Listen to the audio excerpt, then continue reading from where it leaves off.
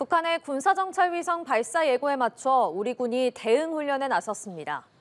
합동참모본부는 오늘 오후 1시쯤부터 전방 중부 지역 비행금지선 이남에서 F-35A, F-15K, KF-16 등 전투기 약 20대가 공격 편대군 비행훈련 및 타격훈련을 실시했다고 밝혔습니다.